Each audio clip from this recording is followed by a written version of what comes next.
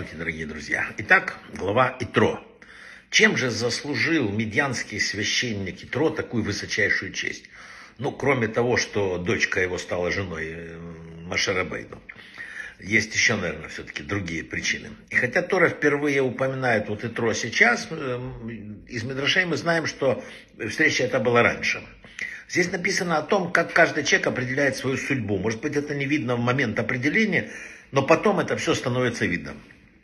Когда маленький Маше игрался и положил корону э, э, фараона на голову, советники сочли это дурным предзнаменованием и сказали, что его надо убить. И только Итро резко высказался против, он сказал, надо проверить ребенка.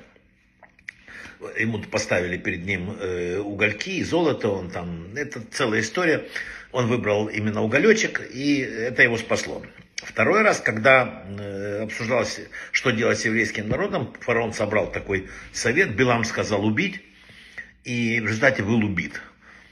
Итро сказал, что он заступился за еврейский народ и был в изгнании, и его именем названа глава Торы. Йов, который воздержался и решил отсидеться, пережил очень серьезные проблемы в жизни. Книга Йова – это книга страданий. Так человек определяет свою судьбу.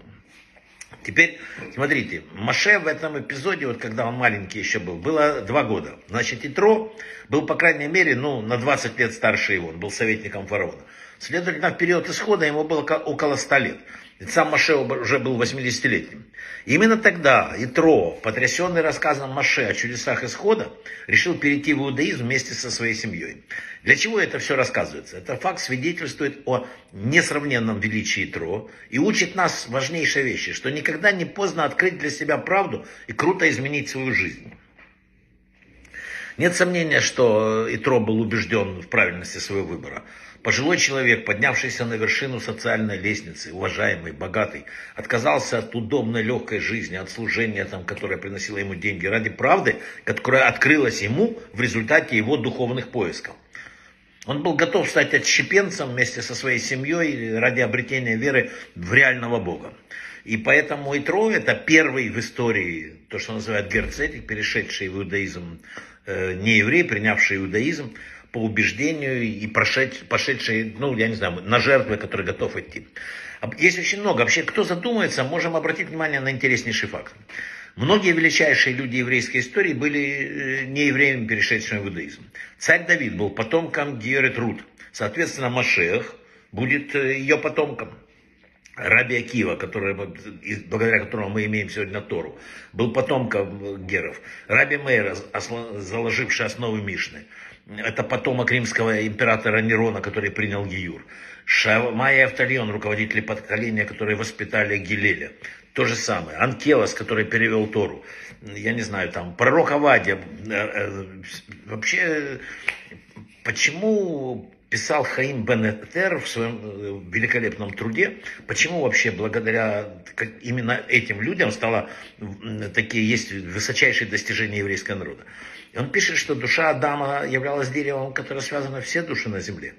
И поэтому, когда Адам согрешил, его душа как бы разбилась на многие кусочки. И теперь все эти кусочки собираются вместе. И когда проходит Гиюр, получается великое поднятие. Рассказывается о Рахав сказано, и там не, не было равных в мастерстве разврата. И Тро, сказано, что не, не было в мире идола, которым он бы не служил. Но Мидраш ставит их рядом с Маше в способности восхвалять Творца. Представляете, это вообще на первый взгляд может оказаться даже непристойным. Однако мудрецы именно так и говорят. Наоборот, они показывают нам, насколько человек способен подняться от преисподней духовных вершин. То есть нам здесь показываются возможности невероятные роста. Надо возвыситься до такой степени с этой ямы, чтобы стать упоминаться вместе с Маше. Иошуа, который был, кстати, после Маше вторым человеком, он нашел правильным жениться на Рахав после того, как она прошла Гиюр. А как отнесся к этому Всевышний? Он одобрил это решение. После этого, ведь от этого брака произошли восемь пророков Израиля. Я уже не говорю о графе Потоцком, который написано, что уникальный человек, который он прошел через пытки, через смерть. Написано, когда его сжигали э, на площади, он пел песню царя Давида, как хороша наша судьба и прекрасно наше наследство. Кабала говорит, что а, три четверти нечистоты э, ушло с грязных рук, там, как это называется, в этот момент, когда он э, э, таким человеком стал. Кстати, Веленский Гаон, один из величайших там, мудрецов вообще еврейского народа, попросил, чтобы его похоронили рядом с графом Потоцким. И во время оккупации Вильнюса фашистами они уничтожили еврейское кладбище. Сохранились только две могилы. Это вот графа Потоцкого и Веленского Гаона. Вот так вот Бог управляет этим миром. Брахавы от слаха, всего самого-самого лучшего.